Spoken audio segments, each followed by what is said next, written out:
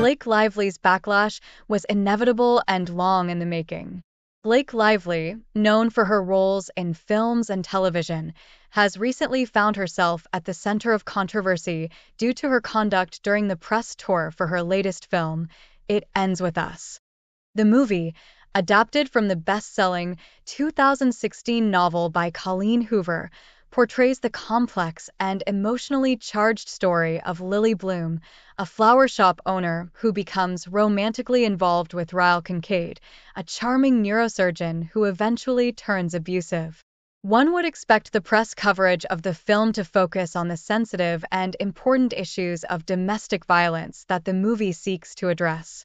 However, instead of engaging in meaningful conversations about the film's themes, Blake Lively seemed to divert attention to her personal endeavors, such as her newly launched hair care line.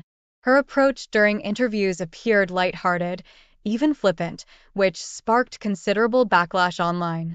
A particularly viral moment occurred when Lively was asked by a reporter how someone should approach her for advice on dealing with domestic violence. Instead of using the opportunity to offer support or direct people to helpful resources, Lively responded in a cheeky manner, turning the question back on the interviewer. She suggested asking for her phone number or sharing a location, followed by a mention of Virgo traits. This response was widely criticized as tone deaf, especially given the gravity of the topic. The incident prompted many on social media to recall other instances where Lively had made questionable choices.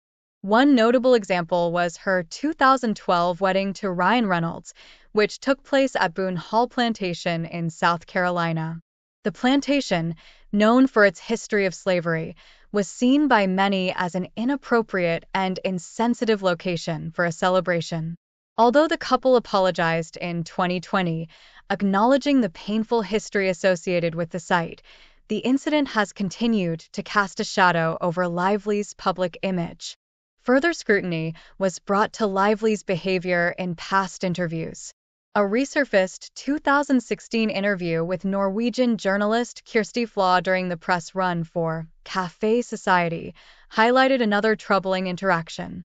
Lively, who was pregnant at the time, responded to a comment about her little bump by awkwardly reflecting the comment back to Flaa, who was not pregnant. Throughout the interview, Lively and her co star Parker Posey engaged in a personal conversation, seemingly ignoring the journalist and making no effort to answer her questions, which led Flaa to consider quitting journalism altogether. These moments have not gone unnoticed, with many viewing Lively's actions as indicative of a broader pattern of insensitivity and disregard. In an industry where public perception is crucial, Lively's recent conduct could have lasting repercussions. As someone with a platform to advocate for meaningful causes, especially those related to her film, it's disheartening to see her use it in such a careless manner.